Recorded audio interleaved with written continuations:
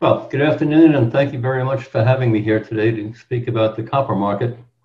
It has been uh, quite an exciting market for a lengthy period of time. So the intent, of course, is to discuss where the market is today. Uh, but typically, as I like to do, is to look at the market uh, briefly from a historical point of view. And so what we're looking at here is the copper price and inventory comparison chart uh, beginning in 2010 and taking us through September of 2020. Uh, the black line, of course, is the monthly average price. The shaded area is the inventories held in COMEX, LME, and Shanghai inventories. Uh, but to, to put the current market into perspective, uh, we have to go back to 2010. And it was during that period uh, following the financial crisis, where the market uh, recovered from very, very low $1.25 at the end of 2008 to a record high $4.50 in February of 2011. And it was, as, as I perceive the market, it was primarily driven by the infusion of trillions of dollars by central banks around the world, coupled with government support programs to get the economy back on a firm footing and back on the road to recovery following the financial crisis. Uh, once that peak was reached in February of 2011, the market entered a long term downtrend, a five year downtrend uh, that brought the price down to $2 in January of 2016. And only with the benefit of hindsight at that time uh, that was the low point. Uh, the market began to recover. And throughout 2016, it kind of moved sideways.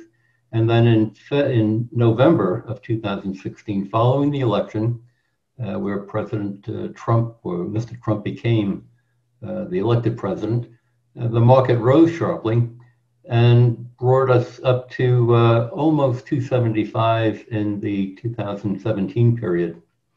It uh, vacillated for a period of time and then continued the rising trend into 2018. And uh, quite frankly, at that point, the, the view in the marketplace was quite bullish. Uh, the outlook was positive. The global economy was doing well. Uh, unemployment was very low in this country and in many of the other major countries. Uh, and the price was on a rising trend until we get to June of 2018 when the trade war started with China. And not only copper, but all of the industrial metals fell very sharply uh, following that turn in June of 2018. And then the price uh, just sort of vacillated as uh, we saw progress and setbacks in the trade negotiations with China uh, throughout the 2000, the second half of 2018 and throughout 2019. So when we get to the fourth quarter of 2019, uh, trade negotiations are on a firmer footing. Uh, the view was that the global economy is going to get back on track. Uh, the price is beginning to move into a rising trend again.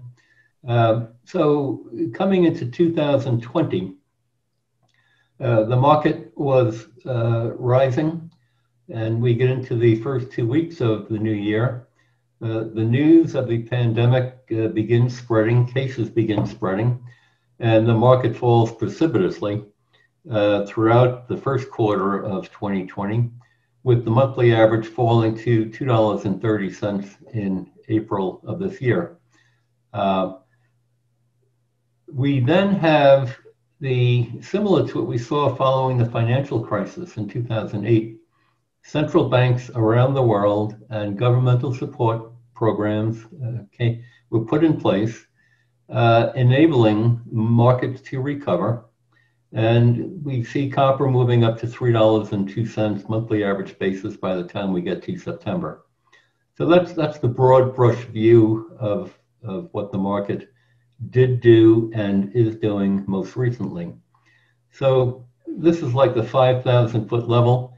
If we take it down specifically to 2020 and see what's happening now, We'll take a look at the next slide here. And so here we're looking at the black line being the daily spot closing price, the blue line being the high price over about a uh, two and a half month period, the red line being the low price over about a two and a half month period. And it's very clear that the market is in a rising trend and it has been making higher highs and higher lows. Uh, so we've seen the market move from, on a spot basis, $2.11 back in uh, March of this year, up to $3.11 uh, in September. So we have a gain of 47% over that period of time. So uh, to, to summarize here, uh, we have copper rising 47% over an approximate uh, six month period of time. The global copper market is in a deficit position. Inventories held in COMEX, LME, and Shanghai warehouses are very, very low. And the market, uh, over the past two three months now, has been drifting in and out of the backwardation. Uh, the monthly average price we saw in September uh, rose to a 27 month high it was the first time since June of 2018 where the price was over $3 a pound. And as I say, whether we look at it on a daily basis or a monthly average basis, uh, the market is making higher highs and higher lows, which is the basis for the price cycle and metal market study that we've been working on. Uh, so we've got a rising trend and I expect that trend to continue rising. So I thank you very much for having me here today and taking the time to listen to this presentation. If, if you haven't done it, take a look at my website, which is um, www.jegross.com. And there is a, uh, right on the main page, a thing in there for the uh, copper 50 year bull and bear market report, study, cycle, whatever you want to call it. Thank you.